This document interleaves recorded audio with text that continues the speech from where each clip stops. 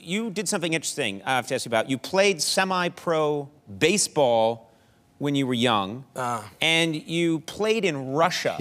Yeah. I didn't know there was semi-pro ball in Russia. Oh man, that is where all of the greatest baseball players flock to, man. They all it's it's it's, it's totally under the radar, but they all shoot to, to, to Russia, man. So- so that is I- absolutely not true, man. It's I like could tell. not true at all. Yeah, Oh, I got that. Yeah, Yeah. yeah. but I'm curious. I'm curious. Like Jon, like who is?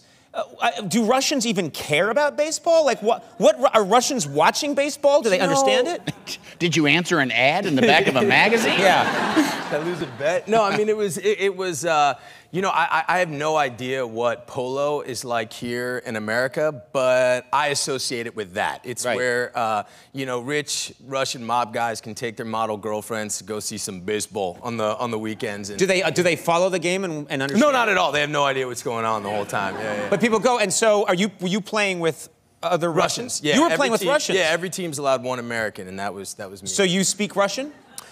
Uh, not not well, man. I, I did. I, I, I you know when I was playing, no, I I, I sure did. Wait, so you played on a baseball team in Russia? Yes, I did. And all of your teammates are Russian, and you don't speak Russian. That is that is. How does case, that man. work? Because well, it what- doesn't what work position did you play? I played catcher, and and, and and and you know if if you know the catcher is the field general, so that's it's its own special brand of panic when there's a guy rounding second, and I'm just screaming, "Throw home, throw home!" and you know they have no idea what I'm talking about. I'm trying to remember the word for home. That's yeah, insanity. Yeah, yeah. What a great me. experience. Yeah, though. it was. It was.